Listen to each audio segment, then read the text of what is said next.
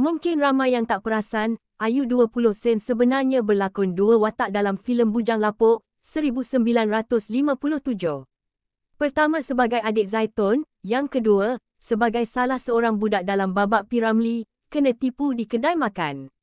Ayu juga sempat mengucapkan dialog, terima kasih abang. Sri Rahayu Sudarmaji atau lebih dikenali sebagai Ayu 20 Sen dalam filem Bujang Lapuk, setiap kali menonton filem Bujang Lapuk, penonton pasti terpikat dengan watak kanak-kanak bernama Ayu. Ayu ibarat penyimpan rahsia percintaan di antara Sudin dan Zaitun dan perlu disogok dengan duit 20 sen sekiranya diminta mengunci mulut oleh Zaitun atau diminta oleh ibu mereka supaya membuka rahsia kakaknya. Dalam filem Bujang Lapuk, Ayu memainkan peranan sebagai adik kepada Zaitun dan anak kepada Siti Tanjung Perak. Berapa ramai yang perasan Ayu turut muncul sebagai salah seorang kanak-kanak yang didakwa adik kepada gadis bernama Rokiah yang makan bersama Piramli di restoran sehingga kini watak Ayu yang mulutnya perlu ditutup dengan wang 20 sen agar tidak membuka rahsia percintaan di antara Sudin dan Zaitun di dalam filem Bujang Lapuk terus diingati. Tidak ramai yang mengambil peduli siapa empunya diri apatah lagi untuk mengetahui nama sebenarnya tetapi karakter Ayu tetap popular sehingga gambar aksinya meminta 20 sen daripada Zaitun dan Sudin dimuat naik secara meluas di laman sosial sebagai sebahagian daripada jenaka. Mungkin ramai yang tidak tahu, Ayu yang dahulunya nakal dan sering berseluar pendek tanpa berbaju, kini sudah pun berusia 69 tahun dan sedang menanti kelahiran cucunya yang ke-8. Ramai tertanya-tanya siapakah Ayu yang karakternya begitu mencuit hati ini. Biarpun pelakon cilik, dia ibarat antara tonggak penting cerita Melayu pada era studio Jalan Ampas, Singapura ini. Sebenarnya Ayu adalah anak S. Sudarmaji, insan kreatif yang bergelar pelakon, pengarah filem, penulis skrip, penggubah lagu dan penulis lirik terkenal yang mempunyai hubungan rapat dengan Piramli. Menceritakan detik bagaimana dia ditawarkan berlakon, Ayu berkata, ketika dia berusia empat tahun setengah, bapanya sebaik sahaja pulang dari studio memberitahu yang Piramli mahu mengambilnya berlakon sebagai watak kanak-kanak. Kata Ayu, disebabkan saya menganggap semua yang bekerja di Jalan Ampas, termasuk jurusolek terdiri daripada Pak Cik dan Mak Cik kawan bapa, saya tidak takut dan terus memberi persetujuan memandangkan bapa saya orang kanan Piramli. Adegan pertama ketika Piramli membelanja Rokiah dan sepuluh lagi adik-beradiknya makan. Saya menjadi adik Rokiah dan melompat-lompat di atas meja makan restoran tersebut.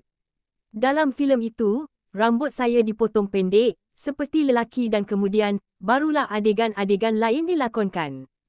Tiada masalah buat saya dengan watak sebegitu kerana sewaktu kecil, saya memang tidak suka berbaju seperti dalam filem itu, kata Ayu, semasa kecilnya tidak dinafikan, dia seorang budak yang sangat nakal, perwatakannya seperti lelaki.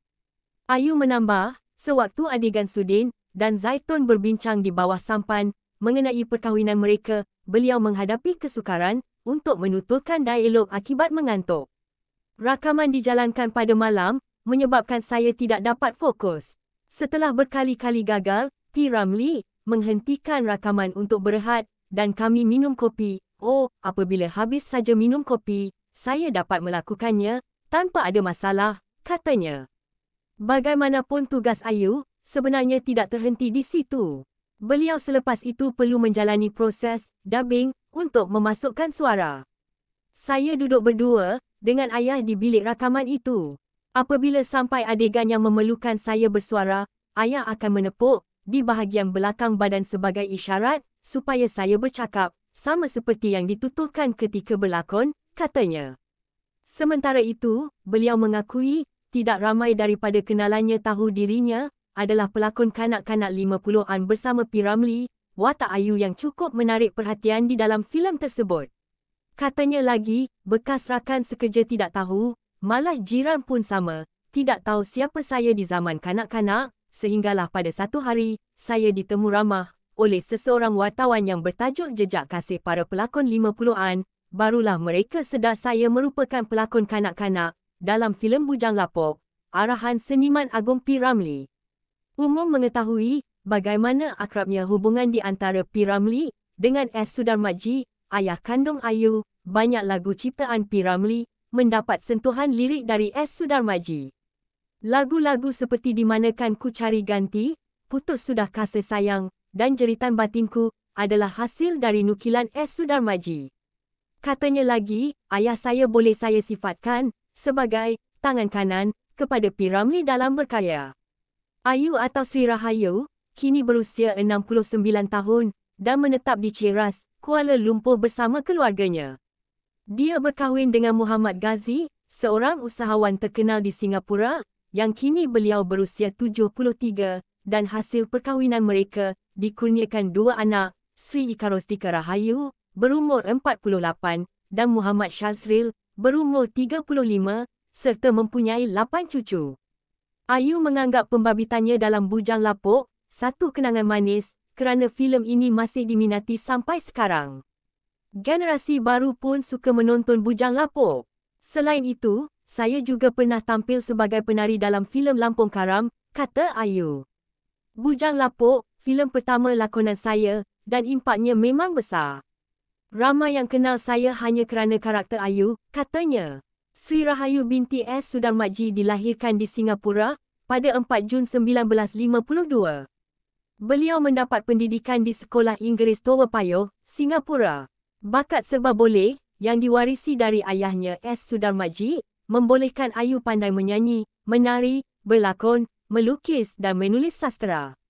Beliau pernah beberapa kali memenangi hadiah pertama, peraduan melukis dan menulis ketika masih kecil lagi. Selain dari berlakon dalam filem Bujang Lapuk, Ayu terus ditawarkan untuk berlakon dalam beberapa buah filem iaitu Seniman Bujang Lapuk, Lampung Karam dan terlibat. Ayu juga turut berlakon dalam sebuah filem Filipina yang berjudul The Golden Trumpet dan memenangi sebuah anugerah pelakon kanak-kanak terbaik di negara Filipina pencapaian Ayu sememangnya sangat baik. Namun sayangnya ketika Ayu dewasa, ayahnya melarang untuk aktif dalam bidang seni kerana ketika itu mengganggu pelajaran Ayu di Singapura, kini Ayu dalam diam. Menjadi orang penting di belakang tabir dalam bidang seni dan menjadi guru tari, guru muzik, guru lakonan serta penulis terkenal di Singapura mengikuti jejak langkah sang ayahnya. Kami mendoakan Ayu gelaran 20 sen dan keluarganya sentiasa di dalam keadaan sihat walafiat. Amin.